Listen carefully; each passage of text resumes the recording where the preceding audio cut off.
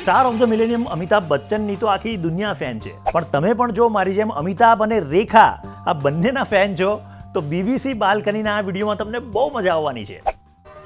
મેં ઓર મેરી તન્હાઈ. અમિતાભ અને રેખાની પહેલીવાર એકબીજાને ક્યારે મળેલા એની સ્ટોરી હું જો તમને કહું તો કેવી મજા આવી જાય બોલો આવે કે નહીં? તો પછી. અને હા આ સ્ટોરી પાછી છે બી એકદમ ઇન્ટરેસ્ટિંગ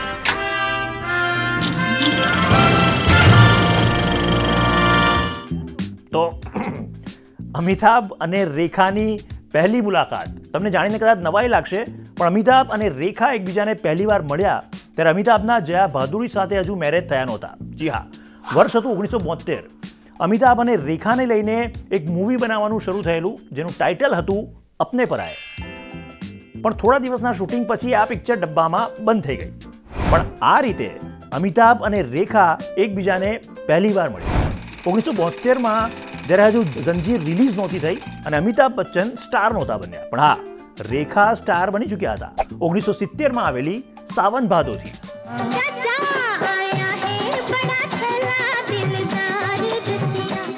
ઓગણીસો બોતેર પછી રેખા અને અમિતાભ ફરી એક ફિલ્મના સેટ પર મળ્યા વર્ષ હતું ઓગણીસો તોતેર ફિલ્મ હતી નમક હરામ પણ એમાં રેખાની અમિતાભ સાથે નહીં રાજેશ ખન્ના સાથે જોડી હતી.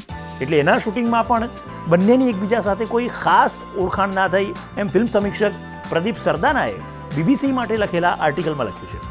અમિતાભ અને રેખાની લાઈફનો મોટો ટર્નિંગ પોઈન્ટ બની ફિલ્મ દો અંજારે. વર્ષ હતું ઓગણીસો છોતેર.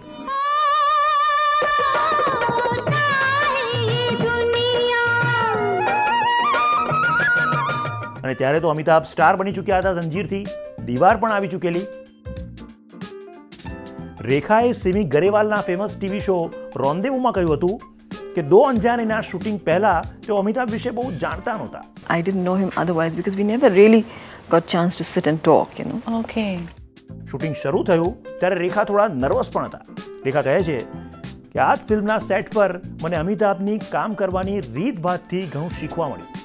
આ પહેલાં હું શૂટિંગને મજાક મસ્તીમાં લેતી હતી પણ દો અંજાને પછી ફિલ્મના સેટ પર હું ગંભીરતાથી કામ કરવા લાગી અમિતાભની જેમ. દેખાઈ ગયું કે અમિતાભનો કામ કરવાનો અંદાજ બહુ જ અલગ હતો. તેઓ એકદમ ધ્યાનથી અને રિસ્પેક્ટથી ડિરેક્ટરની વાત સાંભળતા. All years in concentration and so much respect I had never seen that before with anybody else ઓગણીસો છોતેરમાં દો અંજાનેની રિલીઝ પછી ફિલ્મ મેગેઝિનોમાં તેમના અફેરની વાતો થવા લાગી. અફવાનું બજાર ઓગણીસો એંસી સુધી એકદમ ગરમ રહ્યું જયા બચ્ચન સુધી પણ વાત પહોંચી અને તેમની પરેશાનીની વાતો પણ છપાતી રહી. ઓગણીસો એક્યાસીમાં આવેલી અમિતાભ રેખા અને જયા બચ્ચનની સિલસિલા સુધી અફવાઓનો સિલસિલો પણ ચાલતો રહ્યો.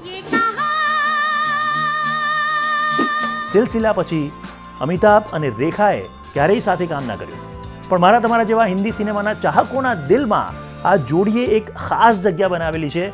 એનો ઇનકાર ના જ થઈ શકે. अक्सर ये बातें करते हैं तुम होती तो कैसा होता સ્ક્રીન પર તેમની કેમેસ્ટ્રીનો અંદાજ અલગ જ રહેતો એનો કોઈ બી મત નથી તો આ વિડીયો તમને કેવો લાગ્યો એમને ચોક્કસ જણાવજો કોમેન્ટ બોક્સમાં કોમેન્ટ કરીને અને આવા ખાસ વિડીયો જોવા માટે બીબીસી ગુજરાતી સાથે યુટ્યુબ ફેસબુક ઇન્સ્ટાગ્રામ અને વોટ્સએપ અને ટ્વિટર પર પણ જોડાયેલા રહેજો